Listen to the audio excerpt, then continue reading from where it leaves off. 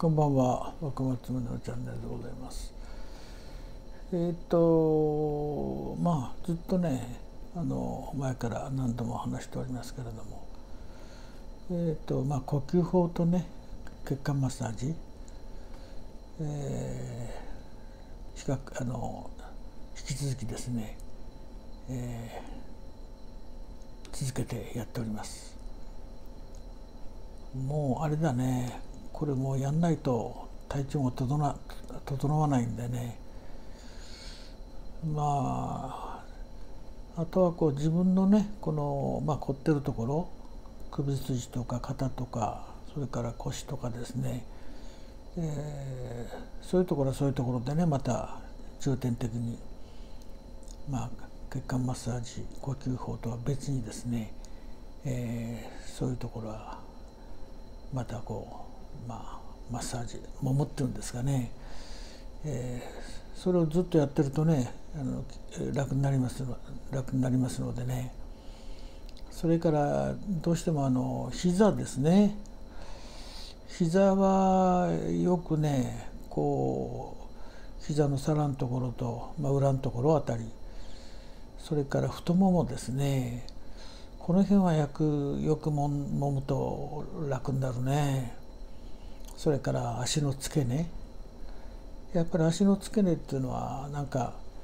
こう、まあ、精神を落ち着かせるそういう感じがありますよね。えー、だからあとはその足の裏だね。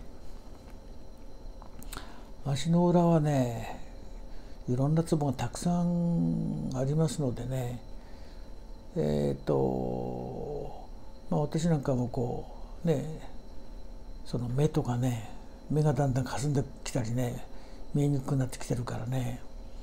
だから目とかそれから耳耳とかね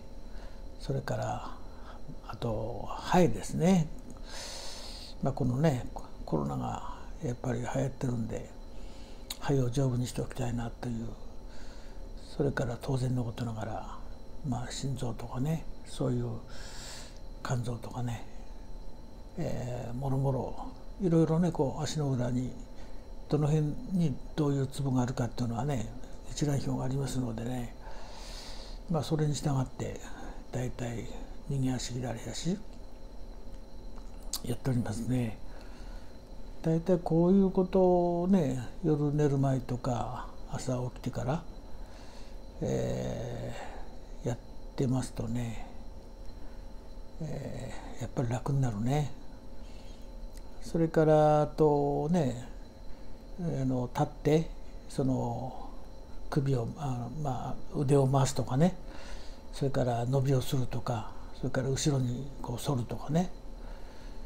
そういうことそれからあとはこうえっ、ー、とよくねこう四股踏むみたいにね膝を曲げて。そういうこともね当然、えーとしっかりやりながら。そうすると大体なんかねこうまあ精神的にも落ち着いてくるしまあ体の筋肉もほぐれてくるしまあそれとまあ呼吸が深くゆっくりになってくるね。そうすると心穏やかになってくるしまあ見通しが出てくるからまあやはりね毎日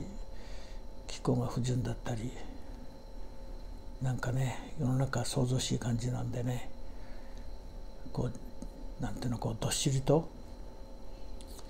あんまりね左右されないでなおかつこうまあ見通しっていうのかなこうまあ頭をクリアにってことだね。やっぱりクリアにしておかないとねなかなか整理つかないんでね。まあそんなことで。まあ結構ね年重ねてきてるからね。何もしないともうねあっという間にさもう予備棒になっちゃうよね。でも本当に体っていうのは正直だね。ちゃんとそういうことね続けてやってればねなんか軽くなってくるしね。あとはまあ睡眠と食事ですかね。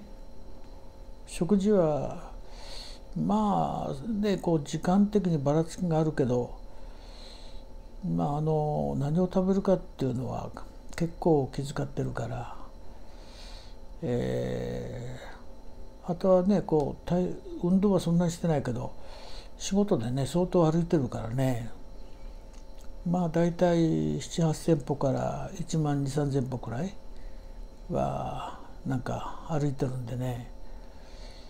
まあこれでいいかどうか別なんだけどまあ程よく、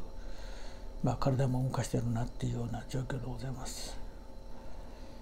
まあとにかく続けないとどうにもなんないんで